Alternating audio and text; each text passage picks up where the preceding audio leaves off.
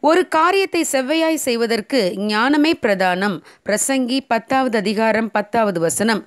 ஒரு மனிதனுக்கு சாலையின் நடுப்பகுதியில் வெள்ளை நிற கோடுகளை பெயிண்ட் அடிக்கும் வேலை கொடுக்கப்பட்டது. அவன் முதல் நாளில் ஆறு மைல் தூரத்திற்கு வெள்ளை நிற பெயிண்ட் அடித்தான். மறுநாளில் மூன்று மைல் தூரம் மட்டுமே அவன் வேலை செய்தான். மூன்றாம் நாள் ஒரு மைலுக்கும் குறைவாகவே வேலை செய்ய முடிந்தது. அந்த மனிதனுடைய ஃபோர்மேன் அவனிடம் வந்து நீ ஏன் வர வர ஒவ்வொரு நாளும் குறைவான தூரம் பெயிண்ட் பண்ணுகிறாய்? என்று கேட்டார். அதற்கு அந்த மனிதன் முதல் நாளில் வெள்ளை பெயிண்ட் இருக்கும் கேன் எனக்கு அருகில் இருந்தது. இரண்டாவது நாளும் மூன்றாவது நாளும் நான் பெயிண்ட் பண்ணிய இடத்திலிருந்து பெயிண்ட் இருந்த பெரிய கேன் தூரமான இடத்தில் இருந்ததால் நான் வந்து வந்து பெயிண்டை எடுத்துச் செல்ல வேண்டியதாயிற்று. அதிலேயே நேரம் போயிற்று. ஆகவே இவ்வளவு தூரம்தான் என்னால் பெயிண்ட் பண்ண முடிந்தது என்றான் ஞானம் இல்லாமல் ஆம் பிரியமானவர்களே நாமும் இந்த மனிதனைப் போல ஞானம் இல்லாமல் திட்டமிடாமல் வேலை செய்தால் தரமாகவும் துரிதமாகவும் வேலை செய்ய இயலாது. இந்த மனிதன் ஒவ்வொரு நாளும் தனக்கு வேலை செய்ய தேவையான அளவுக்கு வெள்ளை நிற பெயிண்டை தான் வேலை செய்யும் இடத்திற்கு அருகில் கொண்டு போய் வைத்திருந்தால் முதல் நாளை விட கூடுதலாக அவன் வேலை செய்திருக்க முடியும். ஆனால் ஞானம் இல்லாததால் அவனுக்கு துரிதமாக வேலை செய்ய இயலவில்லை.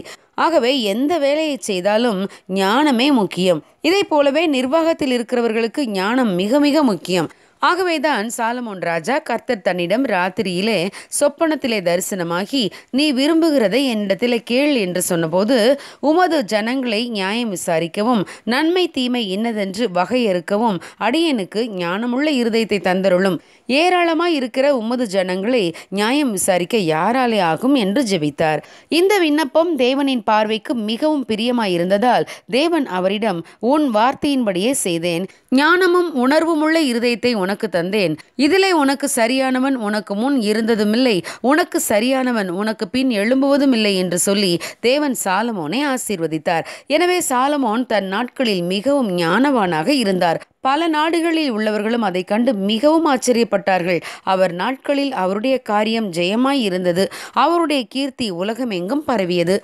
இஸ்ரவேல் ஜனங்கள் ஆசரிப்பு கூடார வேலையை செய்தபோது தேவன் அகோலியா பெசலையேல் என்னும் இருவரை தெரிந்தெடுத்து அவர்கள் வினோதமான வேலைகளை யோசித்து செய்கிறதற்கு அவர்களுக்கு ஞானமும் புத்தியும் அறிவும் உண்டாக அவர்களை தேவ ஆவியினாலே நிரப்பினார்.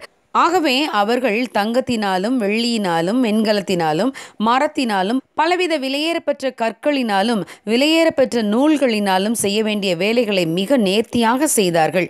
ஆம் பிரியமானவர்களே நாம் செய்யும் எந்த வேலைக்கும் ஞானமே முக்கியம்.